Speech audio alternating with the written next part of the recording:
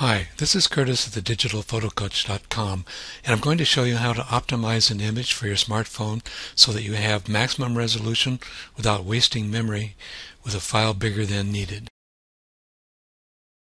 We're looking at a picture that I would like to put on my smartphone. I prepared the file for a different use so it's quite a bit bigger than I need to fill the screen on the phone and using a file size this big on the phone would just be a, a waste of its memory.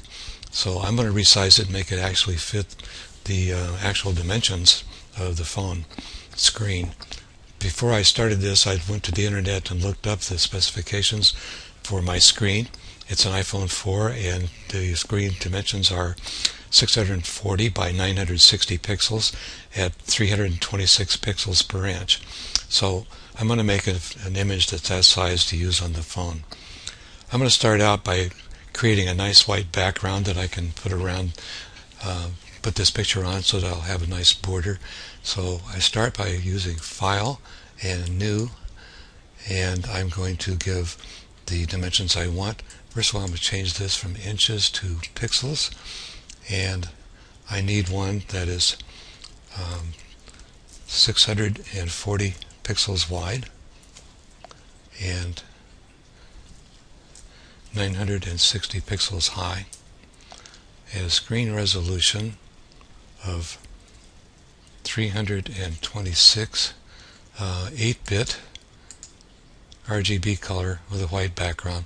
So I can just click OK and it will prepare that background for me. And there it is. Now I can go to the picture. I'm just going to open it. And I'm going to resize this with the crop tool. So I'll make sure the crop tool is selected.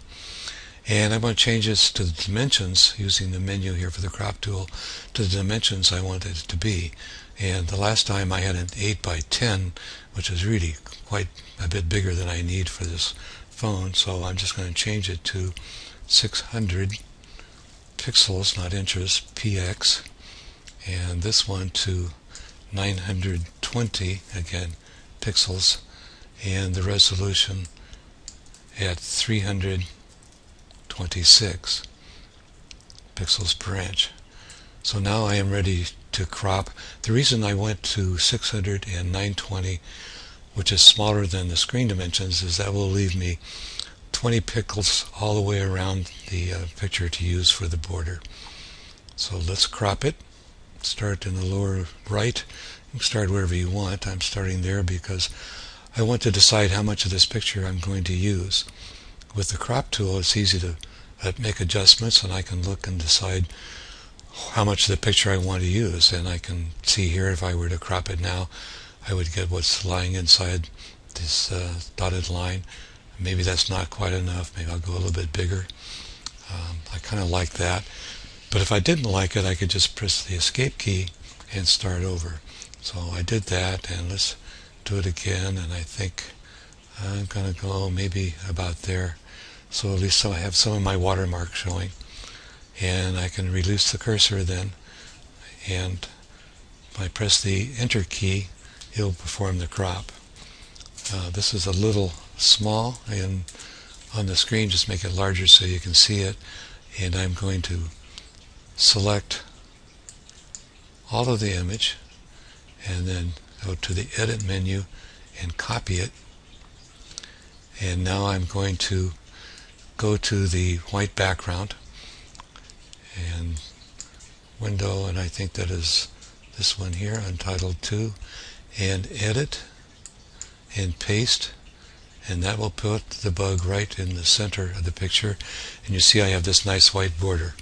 I can dress it up a little bit more uh, by going to the layer styles so I can go to layer, style, and put a drop shadow on it.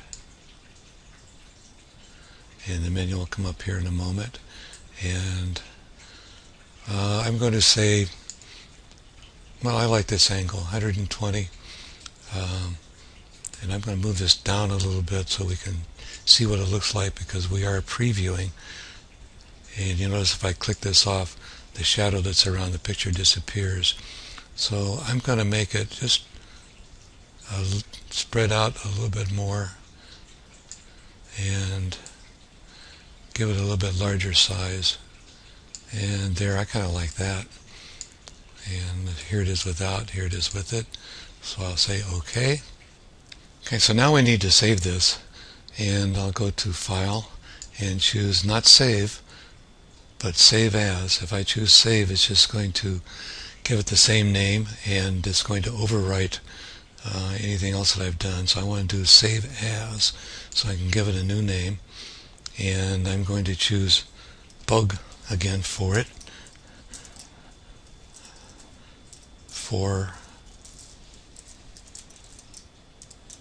phone and I'm going to change the extension to JPEG which will give me a much smaller file and I can click save and it opens a dialog and I can choose the quality the trade-off on quality here is in file size if I want to have less quality I can get a much smaller file size but I don't. It's going to be on my phone. I'm going to show it to people. They're going to know it's my picture, and I want them to take, think I take good pictures. So I'm going to leave the quality high, and I'll say OK, and just click on it, and it's done. Thank you for watching. You'll find more tips and tutorials for photography at thedigitalphotocoach.com.